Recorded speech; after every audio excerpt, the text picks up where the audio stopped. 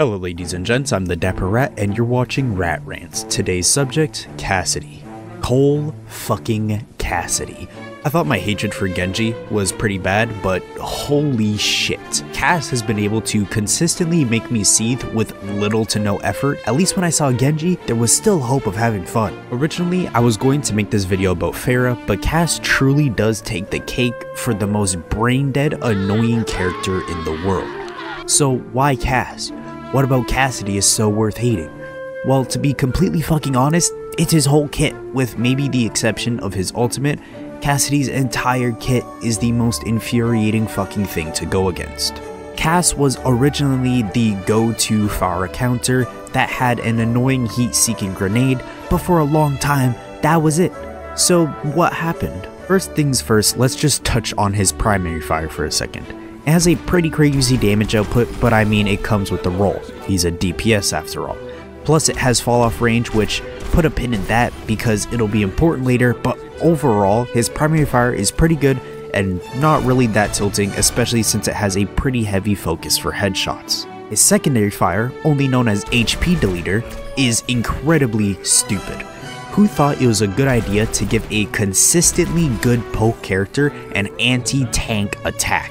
Usually for any other poke character, their main weakness is the fact that if they get dove by a tank, they, in the worst case scenario, die, or best case scenario, are forced to reposition. But in Cassidy's neck of the woods, he gets to burst down the tank's health arguably faster than the tank can burst down Cassidy's, which is horrifying considering that tanks are at very least doubling his health pool and are still getting burst down quicker.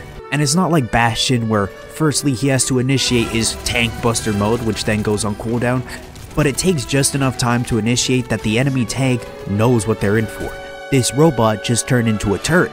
It doesn't take an astrophysicist to realize that you find cover or you're going back to spawn. But in Cassidy's case, he just has direct access to this nah, I'ma do my own thing ass button. Realistically, unless you're playing D.Va and maybe Doomfist, Cassidy is an impossibly uphill battle to dive, and if you are playing any tank that can put up with his bullshit shenanigans, well, good luck closing the distance. Now, believe it or not, I hear you.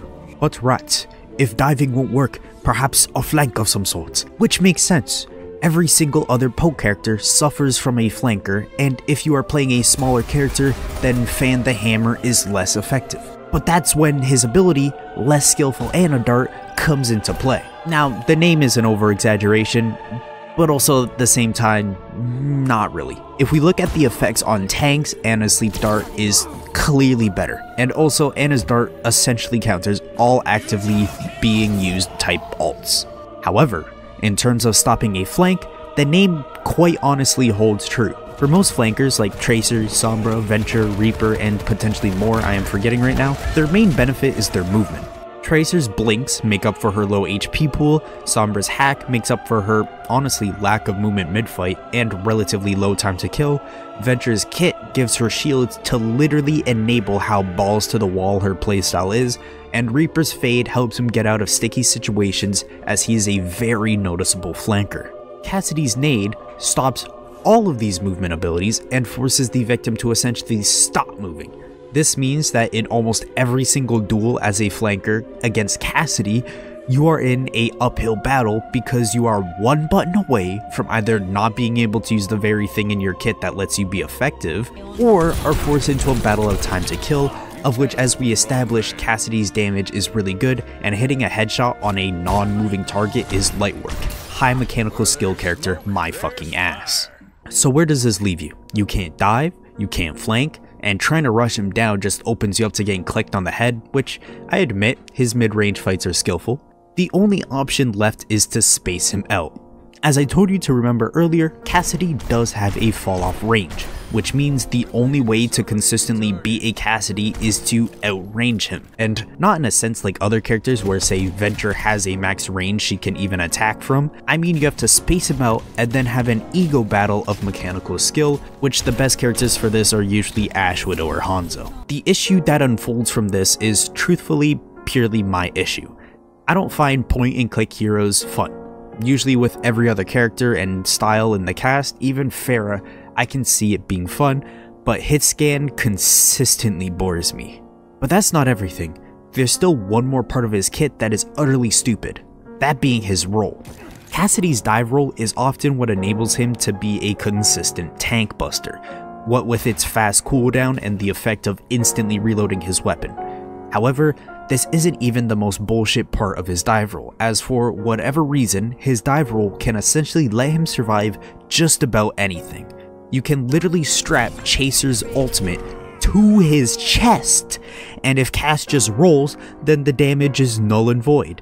He is designed in the most poor way possible, being a multi-tool that is, depending on the map, better than a specialist with the same purpose has an ability that lets him survive what are often insta-kill ultimates, and a button that trivializes the most common ways to counter a character designed to poke. And the best way to counter him is to drool on your keyboard in the backline holding a fucking angle. This character should have been scrapped along with the name change because Jesus Christ is he bad for the game. Stupid So uh yeah, subscribe, like maybe new videos every one to two weeks on Saturdays and uh farewell ladies and gents.